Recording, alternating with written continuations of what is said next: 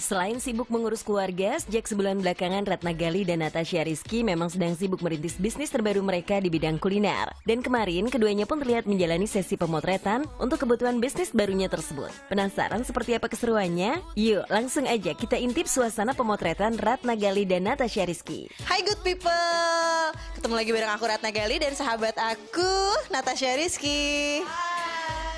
Hari ini kita mau pemotretan untuk uh, brand kulineri terbaru kita. Nah sekarang kita udah selesai make up, aku udah selesai uh, pakai baju, tinggal nungguin Aca ganti baju, terus kita bakal mulai photoshootnya. Kebetulan hari ini ada tiga look nih. Pokoknya yang berhubungan dengan makanan itu adalah tugas aku, makanya fotonya juga sesuai dengan pekerjaan masing-masing. Aku pakai apron. Nah kalau misalkan Aca itu dia memang bagiannya adalah bagian promosi.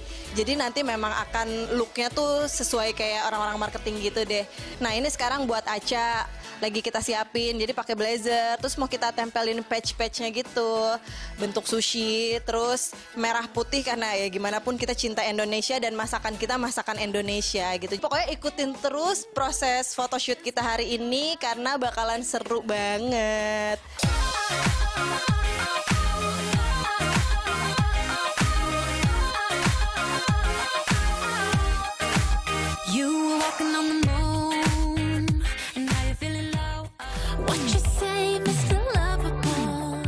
Pertama kalinya menjalani pemotretan berdua sebagai partner bisnis, lalu seperti apakah perasaan Ratna Gali dan Natasha Rizky? Apakah sempat ada rasa canggung ataupun perbedaan pendapat perihal konsep pemotretan yang diinginkan? Kita tuh kan emang emang kalau udah impulsif ya gak tahu sih. orangnya gitu. Jadi kalau saya tuh orangnya termasuk kayak impulsif gitu. Karena emang aku kan ya emang udah biasa aja gitu kalau foto. Karena emang demen foto kan kalau aku mas. Jadi kayak gaya apa aja tuh kayak udah ya udahlah ya kalau dari udah di depan kamera tuh kayak gampang gitu Terus kalau Ratna ya emang Ratna kan di sini kan uh, sesuai dengan uh, seragamnya kan. Tadi kalau dia pakai apron gitu. Jadi dia emang harus yang ngeliatin banget kalau gue tuh kokinya loh gitu. Dan foto session kali ini aku pasrah aja sih. Karena kalau misalkan ngikutin aku, aku akan detail orangnya gitu. Emang apa harus well prepare lah semuanya. Jadi tapi karena aku ya udah aku ya aku percayakan aja semuanya sama Aca. Nggak mungkin lah Aca mau bikin di like pasti kan dia pengen yang the best of us tuh bisa dilihat orang gitu. Oke, okay, okay, good, good people. people. Terima kasih udah ngikutin aku sama Ratna hari ini mulai dari kita make up,